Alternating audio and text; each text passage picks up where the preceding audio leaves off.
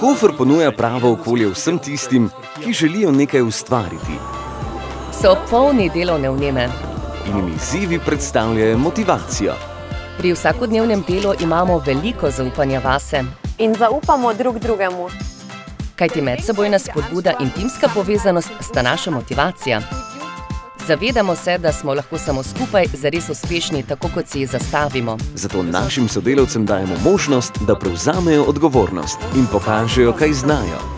Ter priložnost, da postanejo še boljši, kot so kdajkoli pomislili.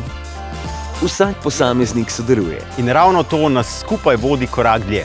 Hvala, da gremo po tej poti skupaj.